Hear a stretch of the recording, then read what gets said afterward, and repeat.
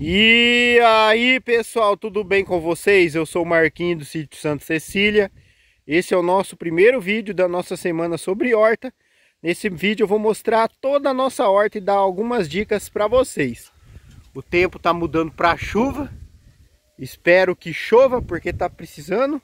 A terra está muito seca. A gente não tem irrigação. Então a gente irriga na mangueira e eu aqui, essa horta pequena é a horta número 2, tem a horta grande para lá. Lá é meu sogro, meu sogro que água e aqui sou eu. Acabei de dar uma molhadinha, podia ter molhado um pouco mais, mas eu acho que vai chover. Então vai é, vai molhar bem agora. E tá ventando, não sei se vai atrapalhar o áudio, espero que não. Aqui eu plantei é, almeirão, vai até ali na frente, plantei ontem, tá novinho ainda. Aqui tem a alface americana. Aqui é o meirão de novo, esse canteiro inteiro. Lá no cantinho tem mais um pedacinho de alface americana. E aqui é cebolinha. Ó. A gente comprou muda de cebolinha porque a nossa cebolinha não estava muito bonita. Então a gente experimentou comprar mudinha nova para ver se vai dar diferença. Então a gente comprou a mudinha pronta, plantou até aqui. Eu ia fechar esse canteiro até aqui com as mudinhas novas, mas com as mudinhas de lá da outra, mas se fosse algum fungo, algum problema que tá na raiz, naquelas mudas de lá, eu fiquei com medo de trazer para cá e trazer o problema para cá. Então aí eu terminei de plantar o canteiro com a muda da alface americana. Tá, tá assim a nossa horta número 2. Agora lá vou mostrar a horta maior.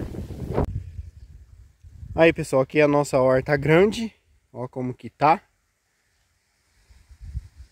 Aqui é a cebolinha aqui que eu falei, não sei se é algum fungo, se é deficiência de nutrientes, se é a lagarta que ataca. Então ah, fica tudo requeimado assim a cebolinha. Eu vou ir atrás da resposta e vou trazer a resposta aqui para vocês. Se Deus quiser, nessa semana ainda, nessa nossa semana sobre horta. E se você quer ter sua horta produtiva, ter sua horta lucrativa, você quer aprender a ganhar dinheiro com horta, a montar sua horta em pequeno ou grande espaço, né? Você quer ter a horta para você proporcionar uma alimentação saudável para você e toda a sua família, ou se você quer ter uma horta para ganhar dinheiro com horta, você gosta de trabalhar com, com hortaliça e quer tirar o sustento da sua família através da horta, do cultivo de hortaliças, existe o Guia Prático Minha Horta Lucrativa, o maior acervo sobre horta orgânica do Brasil e ele vai te ensinar tudo sobre horta. A hora certa de plantar cada tipo de verdura, a maneira correta de plantar, o manejo até você produzir. Você vai aprender também como colher, como vender, 20 ideias de lucro rápido para você ganhar dinheiro rapidamente aí com hortaliças. Então você vai aprender tudo que abrange a questão da horticultura e ainda orgânico. Então você vai aprender tudo, o passo a passo do início ao fim, desde o preparo de solo, o plantio, o manejo até a colheita, a venda. Né? Como eu já falei, o maior acervo de horta orgânica do Brasil. E se você então tiver interesse de estar tá adquirindo esse, esse guia prático, eu vou deixar o link aqui na descrição. Então não perca tempo, se você tem o sonho de ter sua horta lucrativa, de ter sua horta produtiva, está é, tá enfrentando dificuldades e não consegue solucionar, ou se você tem vontade de ter a sua horta, mas falta tomar a decisão, falta o conhecimento para dar início ao seu projeto, essa é a oportunidade de você estar tá realizando seu sonho. Não deixa para depois não. Aproveita agora, o link na descrição, a sua chance de realizar o seu sonho, de conseguir o que você deseja. Então vamos dar continuidade aqui mostrando a nossa horta. Aqui a gente tem alface americana e aqui a gente tem alface crespa. Esses dias aqui veio bem calor e teve ataque de mosca branca e vaquinha, né? Aquele pessoal chama de brasileirinho. E eu vou estar tá trazendo a solução para esses problemas nessa semana. Então vocês ficam atentos. Eu sei que às vezes o vídeo pode ser muita informação ao mesmo tempo, mas se inscreva no canal, ative o sininho das notificações para não perder esses vídeos, que eu vou estar tá respondendo algumas dúvidas dos inscritos. Vou atrás dessas dúvidas aí, que é dúvida minha para usar aqui na nossa horta, né? Controle de mosca branca, controle de vaquinha, né? problemas que a gente tem enfrentado, a questão da cebolinha. Então vou trazer essas respostas nos vídeos dessa semana ainda. Então durante uma semana, vídeo todo dia. A gente tem mais vídeos sobre horta aqui no canal também. Então vale a pena ficar ligado, vale a pena ser inscrito, ativar o sininho das notificações aqui do canal para você estar tá acompanhando esse trabalho. Eu já fiz um vídeo também respondendo dúvidas de vários inscritos. Então vale a pena você maratonar o canal aí, os nossos vídeos sobre horta. Vou deixar tudo numa playlist para você ir acompanhando depois. Então aqui ó, aquela alface lá veio a muda que não era muito boa e não cresceu direito. Essa daqui já se desenvolveu melhor. Tem em torno de 25 dias é, essa alface aqui. A colheita é de 45 a 60 dias, mais ou menos, né? Então aqui, ó, tá bonito.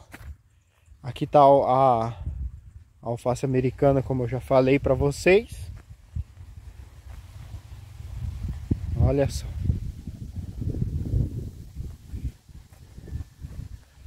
Aqui mais alface americana. Ali mais alface crespa. Ali no canteiro de baixo tem almeirão.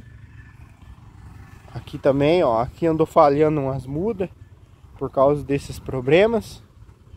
Aqui tem mais um pedaço de alface americana, porque eu plantei a bandejinha aqui, né? E aí acabou o, o espaço, eu completei aqui. Aqui tem mais cebolinha, cebolinha de cheiro. Né? Uns falam cheiro verde, a gente chama de cebolinha. Aqui tem couve, tá precisando dar uma desbrotada e a gente vai renovar. Qual que é a ideia nossa para couve também que eu vou mostrar aqui no canal?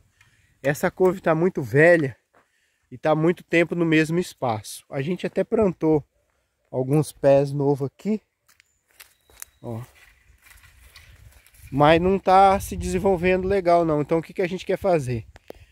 Meu pai vai comprar mudinha de outro lugar e a gente vai plantar em outro lugar. E daí aqui a gente vai tirar e vai plantar as verduras normal aqui. Né? Não tá indo bem a verdura como estava indo, não sei se é de ficar plantando muito tempo no mesmo local, né? Já teve pessoa que me perguntou sobre rotação de culturas, eu fui atrás dessa resposta. E eu vi que para couve, repolho, couve-flor, brócolis, ele é importante porque às vezes dá um fungo no solo que você não consegue produzir mais.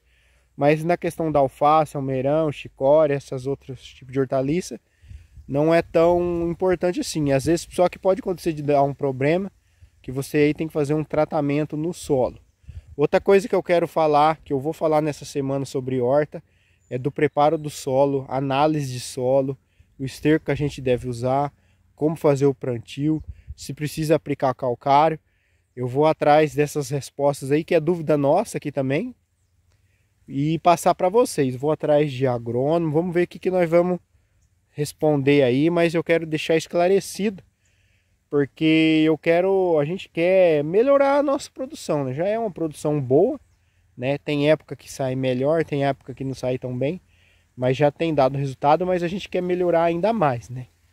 Aqui, pessoal, eu usei esterco das cabras, das cabras ou da galinha, não lembro certo, e nasceu muito mato. Esse espaço aqui eu ranquei hoje e é caruru e eu usei para tratar dos porcos. Aqui eu deixei para mim tirar amanhã. Já era para ter tirado antes, né? Porque vocês viram, ó, tava judiando da verdura.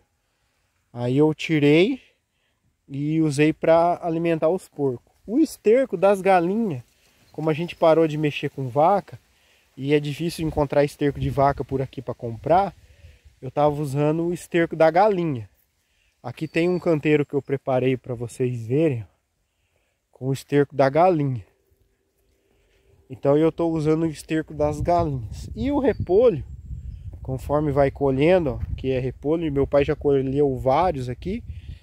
As folhas que sobram, eu forneço para as galinhas e para os porcos também. Mas o repolho eu gosto de dar principalmente para as galinhas, né? Que as galinhas gostam bastante. E aí o caruru que eu arrancar desses canteiros aqui, aí vai para a alimentação dos porcos. Então a gente tenta fazer uma coisa que uma atividade ajuda a outra, né?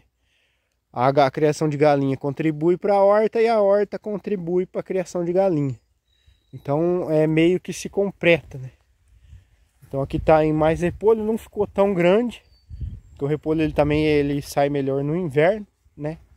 Aqui a gente usa só o sombrite e tem dado resultado bom, viu?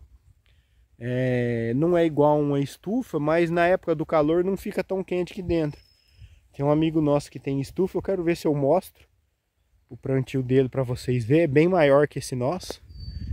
E vou pedir para ele se ele deixa eu gravar lá. Se Deus quiser vai sair nessa semana sobre horta aqui também, no canal. E lá teve uma época que deu problema naquela onda de calor, calor exagerado.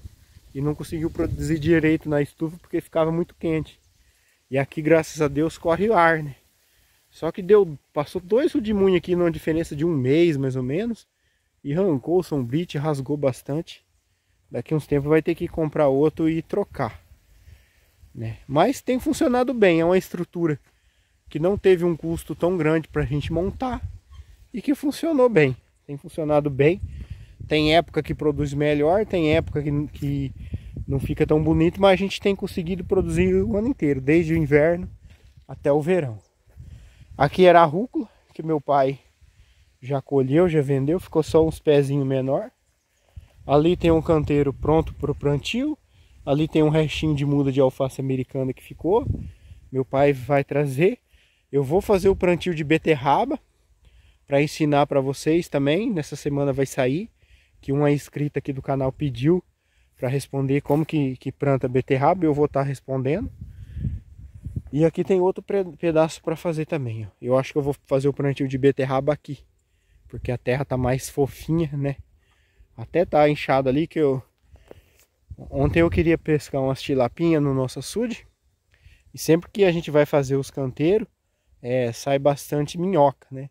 Só que como faz tempo que não chove, eu fiz aquele canteiro lá, ó, dali até lá.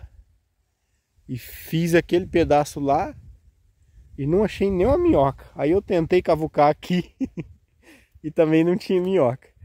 Então aqui vou estar tá preparando, aqui a terra está mais fofinha. Para ver esse canteiro aqui, ó, tem um vídeo no canal ensinando como que eu fiz. Misturei o esterco, tudo certinho. E aqui o ideal eu acho que seria trazer o esterco de vaca, né? Tá sempre usando o esterco de galinha. Não pode colocar demais. Então essa é a nossa horta e eu vou mostrar para fora para vocês verem também. Que ali a gente está tentando produzir sem o sombrite. vou mostrar para vocês lá. Aí pessoal, aqui eu fiz o plantio de repolho. Peguei lá daquele canto. E vim até aqui, ó. Eu molhei ele, ó. E apesar do calor, ele tá verdinho, tá vivinho. A chuva que parecia que ia vir, parece que tá indo embora. Não sei se vai chover. Daqui a pouco eu vou acabar tendo que molhar aqui ainda. Olha as pimentas. Parece que estão murcha do, do calor. Então aqui plantei aqui 70 pés de repolho. Agora eu tenho que completar. Não sei se a mudinha que tem vai dar para completar lá. O giló. Andou saindo outro gilózinho, mas a, a vaquinha estragou de novo. A gente tem que ficar bem atento. E aqui tá com bastante pimenta. Ó. Eu não sei que pimenta que é essa, se é a deda de moça, qual é que é. Aqui tem uns pés de quiabo também. Olha só. Aqui tem as berinjelas. Olha lá o que a vaquinha faz, ó. Ela rói tudo, ó. O, o giló elas comem a folha. Da berinjela ela estraga os frutos. A berinjela é menos do que o giló, porque ela vende menos. O giló vende bastante. Ali o quiabo tem ali na frente tem o plantio de quiabo. Vou ir lá mostrar para vocês.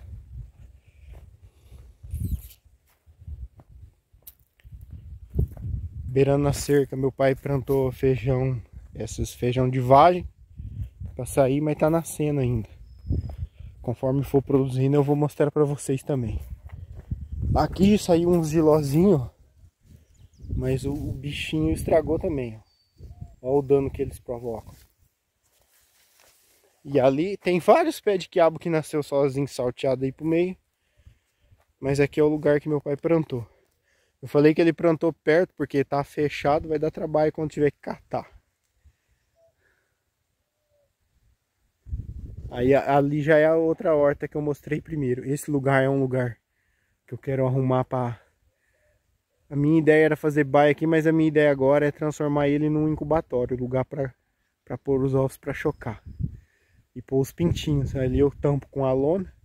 Quando tiver muito calor eu abaixo, deixo correr ar. Quando tiver frio eu fecho. Mas são ideias para ir trabalhando. Então aqui é o lado de fora da horta. E ali é a horta grande. Lá em cima é pomar. Aí tá caindo os pinos de chuva. Deus abençoe que, que molhe a terra. Então esse foi o nosso vídeo de hoje. Só para confirmar se você realmente tem interesse em ganhar dinheiro com horta, em aprender a fazer a sua horta e ter uma horta produtiva e lucrativa, Guia Prático Minha Horta Lucrativa é a solução para você resolver seus problemas e realizar os seus sonhos. O link está na descrição. Acompanhe a gente aí nessa semana sobre horta, vai ter muito vídeo bom. Se ainda não se inscreveu no canal, mais uma vez peço para se inscrever, deixar o joinha. E até o próximo vídeo, se Deus quiser.